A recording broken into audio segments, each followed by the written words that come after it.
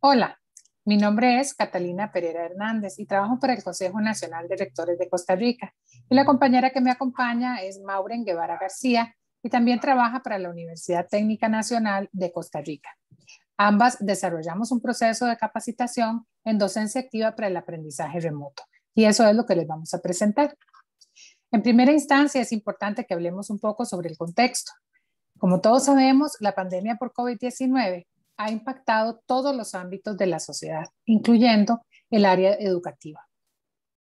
En nuestra esfera educativa, todas las instituciones de, educación alrededor del mundo, independientemente del nivel, se vieron en la necesidad de cerrar con celeridad las instalaciones.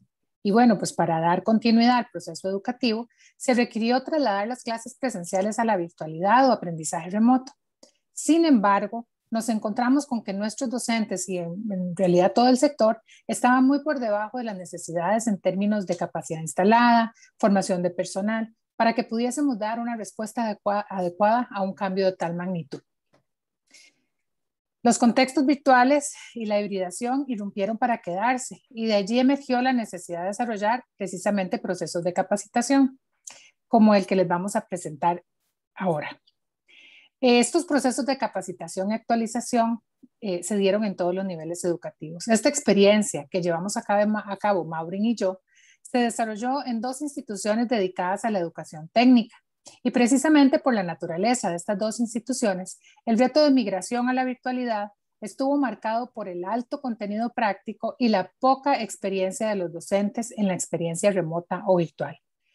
Para identificar las necesidades de los grupos atendidos, realizamos un cuidadoso análisis del contexto de cada una de las instituciones en términos de infraestructura tecnológica, conocimiento previo respecto al uso de técnicas didácticas, herramientas y plataformas para el aprendizaje virtual y por ende tomamos mucho en cuenta el perfil y la experiencia de las personas docentes participantes en ambos procesos. Para dar más detalles sobre este proceso de capacitación, le doy el pase a mi compañera Maureen Guevara. Muchas gracias. Muchas gracias, Catalina. Y precisamente en este sentido vamos a conversar un poco sobre la implementación de la capacitación.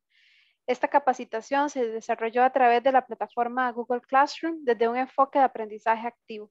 Y para ello desarrollamos la estrategia de aprendizaje invertido para que las personas participantes tuvieran el acceso previo a las sesiones sincrónicas del taller.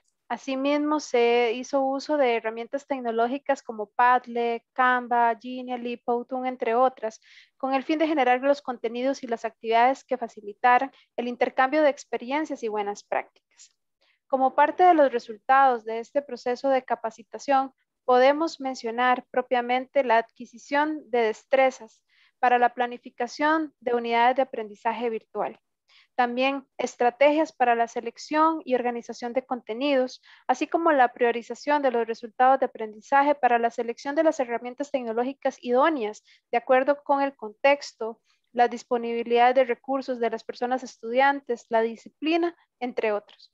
Al finalizar el proceso de capacitación, las personas generaron sus propias unidades de aprendizaje en modalidad remota o virtual, tomando en consideración no solamente su propio contexto, sino también los recursos disponibles para las personas estudiantes, las disposiciones o normativas institucionales, así como las herramientas o eh, equipamiento que tienen a disposición estas personas.